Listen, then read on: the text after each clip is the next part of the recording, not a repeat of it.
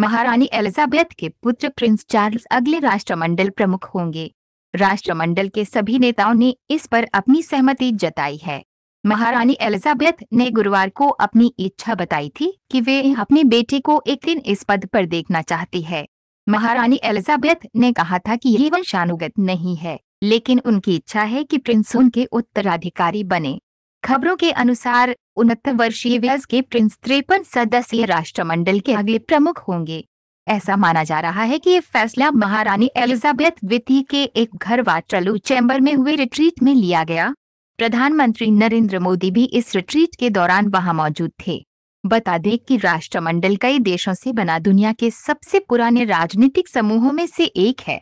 राष्ट्रमंडल के प्रमुख का पद तिरपन राष्ट्रों के राष्ट्रमंडल का एक औपचारिक अध्यक्षात्मक पद है। राष्ट्रमंडल तिरपन मुख्यतः राष्ट्रों का एक अंतर्राष्ट्रीय संगठन है, जो पूर्वतः संयुक्त राजशाही के उपनिवेश या परिराज्य हुआ करते थे। ये पद केवल एक रितिस्पद पद है, जिसके पदाधिकारी का इस संगठन के दैनिक कार्यों में किसी भी प्रकार की कोई भूमिका नहीं है। इस पद के कार्यकाल की कोई समय सीमा नहीं है, और परंपरागत रूप से इस पद उत्पाद को ब्रिटिश संप्रभु पर निहित किया गया है।